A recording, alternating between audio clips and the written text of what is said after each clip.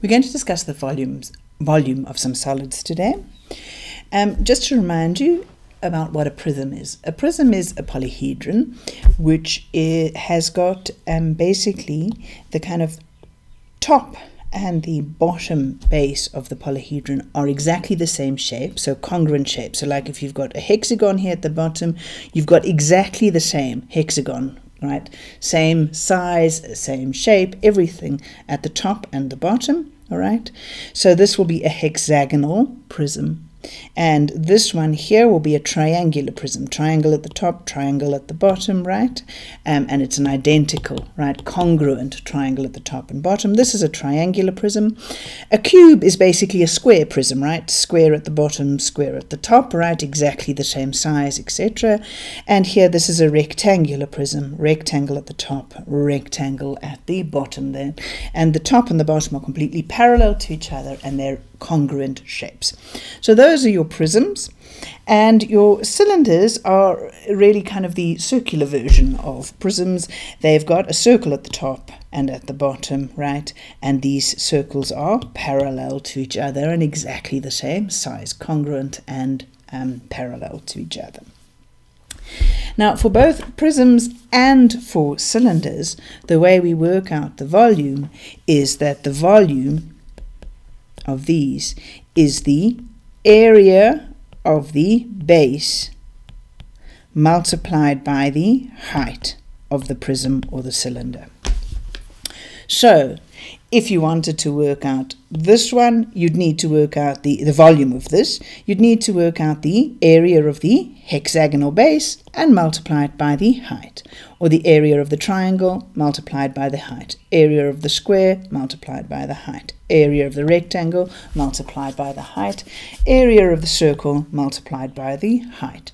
And of course we know that we can put these um, prisms and cylinders on their side. So if it was like this, right, this triangle, we would still consider that the base. You know, it's the it's the shape that you've got at the top and the bottom sort of thing. So it's the area of the triangle multiplied by the height. We just have to picture it lying on its side.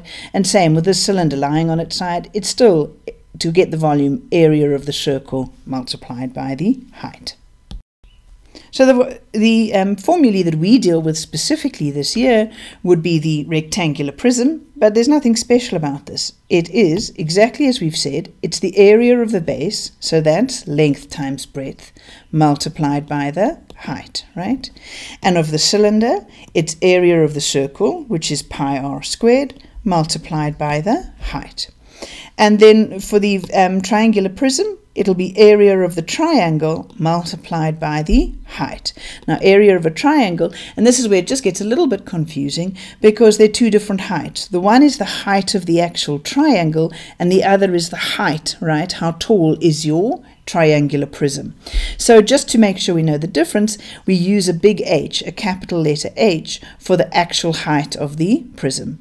So how do we work out the area of the volume of this prism? It's the area of the triangle, which is half base times height, multiplied by this, the height of the actual prism. Okay. So if we had to work out this one, what is the area of this triangular prism?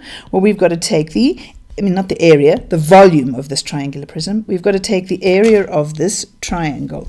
So this volume of this one is going to be the area of this little triangle here at the bottom. And the area of that is half the base. The base is 9 and 9, which is 18, multiplied by the height of the triangle. So it's height 40 of the triangle. So there's your area of your base multiplied by the height of the prism, which is 100.